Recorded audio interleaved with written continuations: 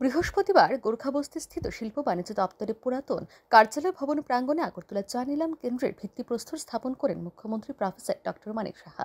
সাথে উপস্থিত ছিলেন রাজ্যের শিল্প বাণিজ্য দপ্তরের মন্ত্রী শান্তনা চাকমা, আগরতলা পৌর নিগমের মেয়র দীপক মজুমদার, চা নিগমের চেয়ারম্যান সমীর ঘোষ এবং শিল্প বাণিজ্য দপ্তরের সচিব কিরণ গিত্তে এবং দপ্তরের অধিকর্তা বিশ্বেশ্বরী বি সহ অন্যান্যরা। এদিন বক্তব্য রাখতে গিয়ে মুখ্যমন্ত্রী বলেন, চা ছাড়া দিনের শুরুটা একেবারেই ফিকে মনে হয় এবং এ চা আমাদের সংস্কৃতির একটি অংশ। রাজ্যের পাশাপাশি বহিরাজ্যেও ত্রিপুরায় উৎপাদিত চায়ের যথেষ্ট চাহিদা রয়েছে এবং সেই চাহিদাকে মাথায় রেখে রাজ্যে উৎপাদিত চা বাজারজাত করারও উপযুক্ত ব্যবস্থা থাকতে হবে। পূর্বে রাজ্যে উৎপাদিত চা নিলামের জন্য পশ্চিমবঙ্গে নিয়ে যেতে হতো।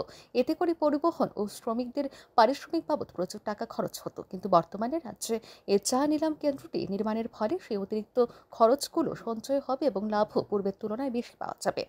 আমরা চা চালা চলবে না এবং চাকে সামনে রেখে যেভাবে তার একজন আরেকজনের সাথে সম্পর্ক তৈরি হয়। এবং এটা আমি বলব আমাদের সংস্কৃতিরও একটা পার্ট এবং তাতে করে বাজারজাত হয়, তার যেহেতু ডিমান্ড আছে, তার সাপ্লাইও দরকার। এখানে কিরণ গিত্তেজি বলছেন আমাদের সেক্রেটারি মহোদয় যে আগে এখান থেকে চা বাইরে নিয়ে যেতে হতো, সেখানে গোডাউন, তাতে করে ট্রান্সপোর্ট কস্ট সেখানে নিয়ে বিক্রি করা, তাছাড়া ম্যান পাওয়ার দেওয়া।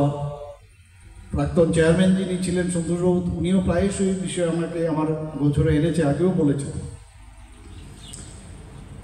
তো আস্তে আস্তে করে এটা মাথায় ছিল, আমরা কি করা যায়? দিল্লির সাথেও অনেকবার কথা হয়েছে, কি করা যায় এটা নিয়ে? অকশন সেন্টার মাস্ট ওয়েস্ট বেঙ্গলে গিয়ে অকশন করতে হবে, হয়েছে আমাদের।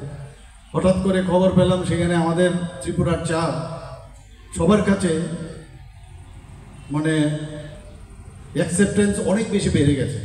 তো তারও দামও অনেক বেশি পেয়েছে। কিন্তু দাম বাড়লে কি হবে? ওখানে বিক্রি করলে বেশি দাম পেলেও লাভ হবে না। তো যেহেতু ত্রিপুরাতে এই অকশন সেন্টার এখানে হয়ে গেছে, তো আগামী দিন যে টাকাটা ট্রান্সপোর্ট এবং গোডাউনে বা ম্যান পাওয়ারে খরচ হতো, সেটা কিন্তু আর লাগবে না। তো আমি অত্যন্ত খুশি যে এই ধরনের আজকে টি ই অকশন সেন্টার এখানে তৈরি হচ্ছে এবং এদিন বক্তব্য রাখতে গিয়ে শিল্প বাণিজ্য দপ্তরের মন্ত্রী শান্তনা চাকমা বলেন, প্রধানমন্ত্রীর ভোকাল ফর লোকাল স্লোগানকে সামনে রেখে চা নিলাম কেন্দ্রটি স্থাপিত হলে মাত্র ষোলো দিনের মধ্যেই রাজ্যে উৎপাদিত চায়ের নিলাম প্রক্রিয়া সম্পন্ন করা সম্ভব হবে।